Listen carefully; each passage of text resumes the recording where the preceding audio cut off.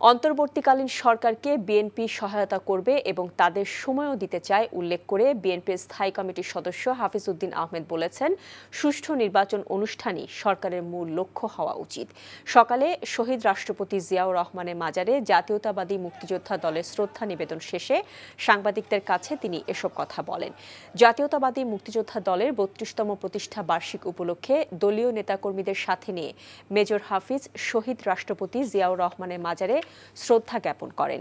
ছাত্র জনতার অভ্যুত্থানে যারা শহীদ হয়েছেন এবং আহত হয়েছেন, তাদের পরিবারের পুনর্বাসনের উদ্যোগ নেওয়ার জন্য অন্তর্বর্তীকালীন সরকারের প্রতি আহ্বানও জানান তিনি।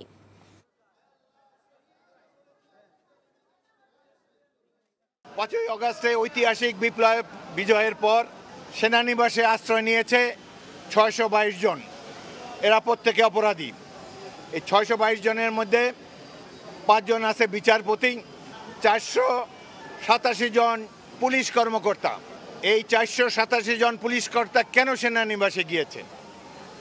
গিয়েছে তারা জনগণকে হত্যা করে সেখানে আশ্রয় নিয়েছে। বাংলাদেশ সেনাবাহিনী একটি ভুল কাজ করেছে। এই ধরনের দুর্বৃত্তদেরকে, খুনিদেরকে সেনানিবাসে আশ্রয় দিয়েছে।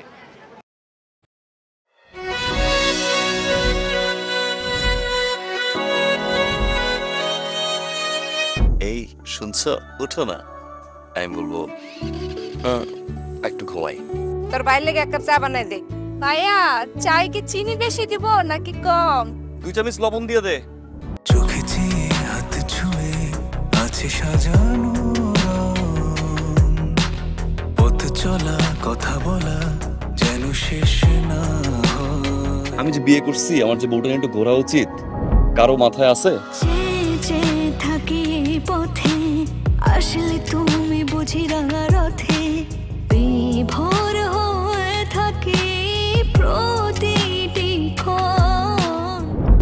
ডাক্তারের কাছে আমার একটু নিয়ে চলেন না